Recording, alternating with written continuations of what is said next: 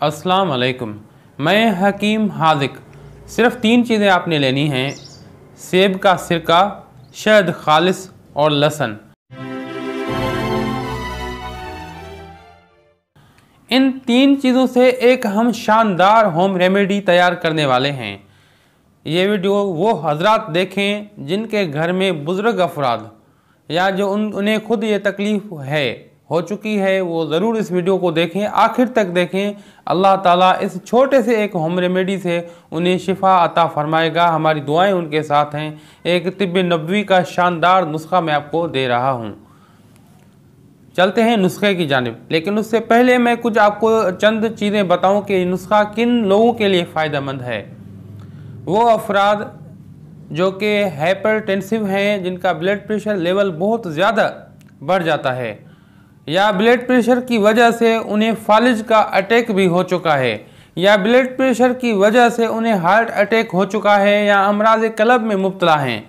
या brain haemorrhage जैसी कई एक कॉम्प्लिकेशन से वो गुजर चुके हैं ब्लड प्रेशर की वजह से।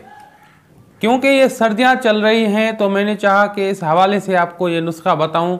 हमारे जिसम में क्लाटिंग एजेंट्स होते हैं या फेट होती है, जो कि सर्दियों में जमना शुरू होती है, जिसकी वजह से हमारे शरियानों में, हमारे जो है, कैपिलरीज में क्लाटिंग एजेंट्स की वजह से ब्लाकेज पैदा होते हैं, क्लाट बनते हैं, जो कि फिर हार्ट अटैक और ब्रेन हेमरेज या फालिज का सबब बनते हैं। मेरे अज़ीज़ साथियों दरअसल, ये नुस्खा क्या करता है कि उन क्लाटिंग एजेंट्स को ख़त्म करता है, आपके खून को पतला रखता है और आपके शरियानों को और आपके कलब को एक कुत और ताकत फराम करता है, जिसकी वजह से आपकी ब्लड प्रेशर लेवल कम होती है और आप बचे रहते हैं। फालिज जैसे और ब्रेन हेमरेज जैसे और हार्ट अटैक जैसे मूदी अमराज से आप हमेशा बचे रहते हैं। अगर आप ये इस्तेमाल करता रहें पूरा साल करें तो बेहतर है, अगर नहीं कर सकते तो आप सिर्फ़ सर्दियों में ये लाजमन इस्तेमाल करें। ये एक बेहद एक लजीज चीज़ भी है, उसके साथ साथ बेजरड़ नुस्खा है और बिल्कुल बेजरड़ नुस्खा होने के साथ साथ इसके जो शानदार जो रिज़ल्ट आपको मिलेंगे, वो खुद आप इसका मुशाह कर पाएँगे। अब ये तीन चीज़ें हमने लेनी हैं। आप लहसन लें सबसे पहले जो कि आपके पास ये तीनों चीज़ें कामन मिल जाएँगी। सिर्फ़ सेब का सिरका हो सकता है कि मार्केट से आपको लेनी पड़े। लहसुन को अच्छी तरह से छीलें और उसको मिक्सर में डालें। कितना लेना है? 50 ग्राम आपने लेना है लहसुन। और इसमें 50 ग्राम आप डालेंगे सेब का सिरका। अब इसको मिक्सर में डालें।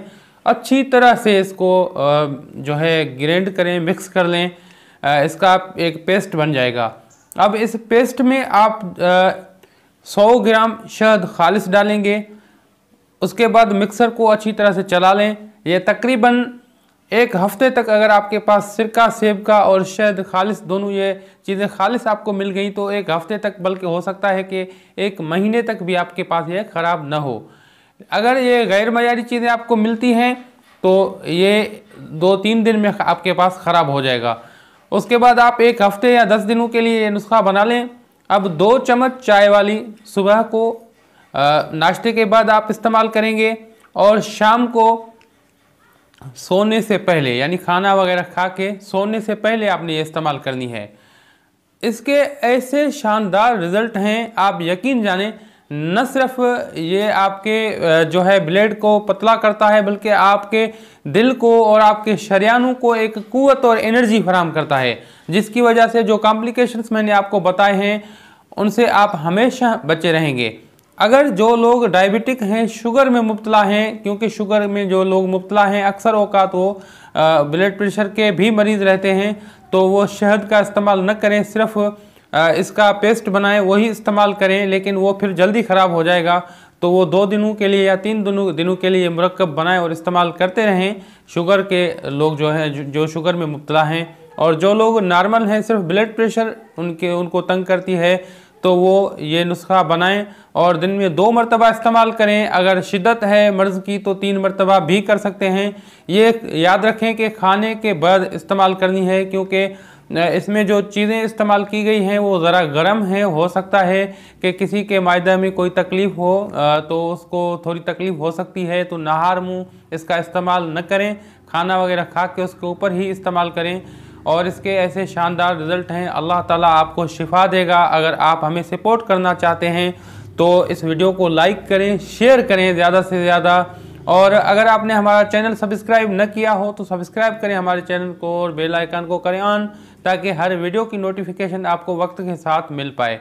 अब हकीम हाजिक को दुआओं के साथ दीजिए इजाज़त। अल्लाह हाफिज़।